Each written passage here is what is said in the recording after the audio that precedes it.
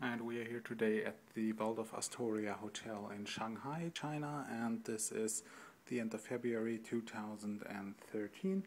This is a junior suite on the top level, 24th floor, and uh, it has one king bed over here on the side. Uh, here you see there is a small um, Nespresso coffee machine, and here you have like a coffee and tea set um, it's a little dark here because I have not opened the curtains so far.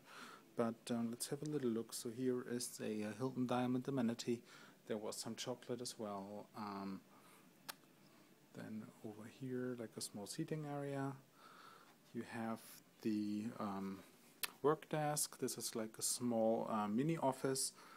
And you'll see outside this is like a historic part of um, Shanghai. I did not take the view over to the Pudong side today because tomorrow I'm staying at um, one of the Hyatt hotels over there.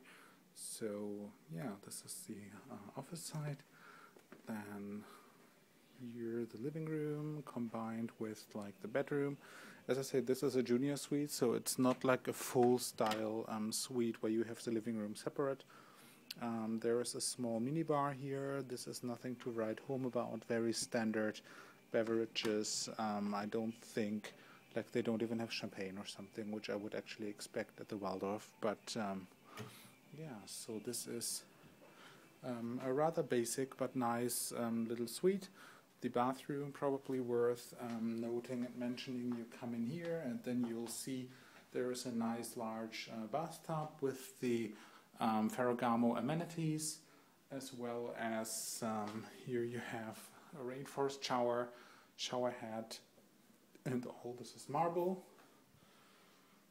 Small um, amenity case as well, and then the toilet on this side. So, oops, this one opens automatically. Let's close it again. So yeah, once again, this was the Waldorf Astoria, Shanghai, China, and um, today was February, I think, yes, February 27th, 2013.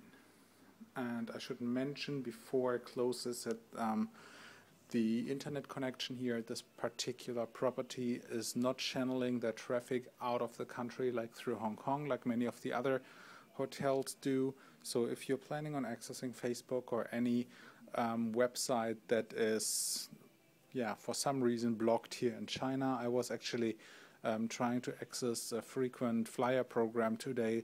That one didn't work either, so um, I can't even book my flight ticket from here.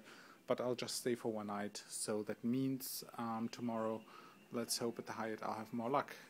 So thanks for watching, and I hope once you come you enjoy the Waldorf.